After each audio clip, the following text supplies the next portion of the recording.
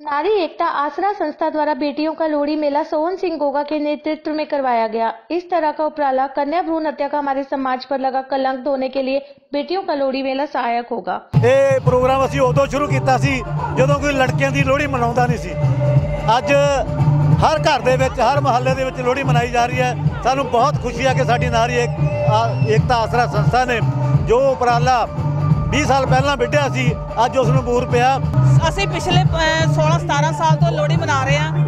ਇਹਦਾ ਉਤਸ਼ਾਹ ਸਾਨੂੰ ਹਰ ਸਾਲ ਸ਼ੁਰੂ ਹੁੰਦੇ ਹੀ ਹੋ ਜਾਂਦਾ ਹੈ ਅਤੇ ਇਸ ਲੋਕਾਂ ਦਾ ਬਹੁਤ ਸਹਿਯੋਗ ਮਿਲਦਾ ਹੈ, ਜਿਸ ਦੇ ਨਾਲ ਅਸੀਂ ਇਹ ਕਾਰਜ ਨੂੰ ਨਪੇਰੇ ਚੜਾਉਂਦੇ ਹਾਂ।